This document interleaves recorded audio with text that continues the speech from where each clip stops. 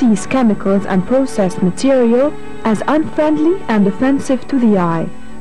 Nature is always his source, and he says that natural substances have certain vibrations that make man identify with them.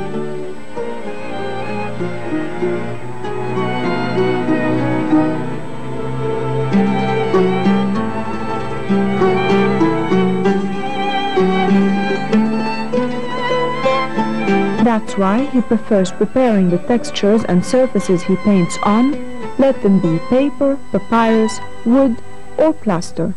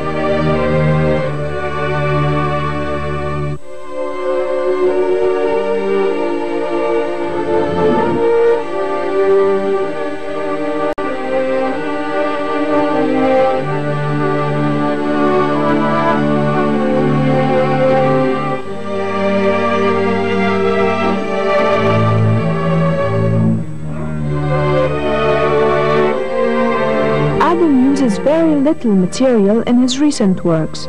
He cares more for the impact of the form. The substance withers and disappears after the eye contact ends, and what remains, which is more important, is the spirit of the work.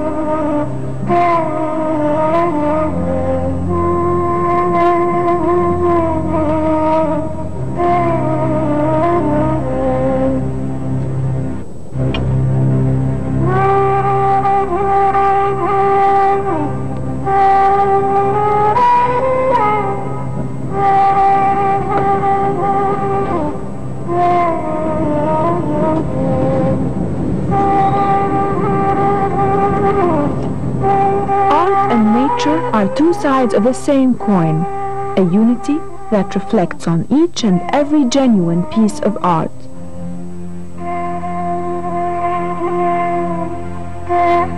This state of oneness makes the fingers blend with the substance in their physical contact, creating forms and shapes that surprise both the eyes and the mind of the Creator Himself.